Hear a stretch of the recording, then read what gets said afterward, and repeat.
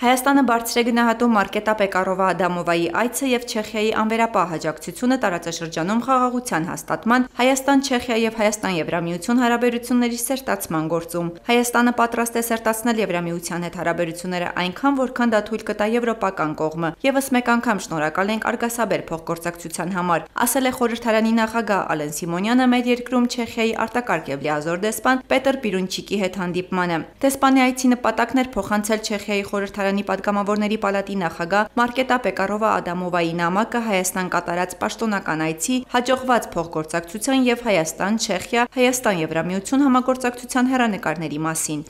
Չեխիայի Հանրապետության խորհրդարանի պատգամավորների պալատի պատվիրակության, ինչպես նաև իմ անունից ցանկանում եմ երախտագիտություն հայտնել Հայաստանի Հանրապետության մեր պաշտոնական այցի ընթացքում ջերմ ընդունելության համար։ Մեր փոխադարձ քննարկումները շատ ոգեշնչող էին ինձ համար, եւ ես խորապես հավատում եմ, որ դա մեր ավելի սերտ համագործակցության միայն սկիզբն է։ Մասնավորապես ասվում է նամակում։ Ալեն Սիմոնյանը շնորհակալություն է հայտնել չեխ գործընկերներին Հայաստանի եւ Չեխիայի միջև դինամիկ զարգացող հարաբերությունների համար։ Կողմերը մտքեր են փոխանակել նաեւ հարավային Կովկասում խաղաղության հաստատման, Ադրբեջանում պահվող հայ գերիների վերադարձի եւ այլ թեմաների շուրջ։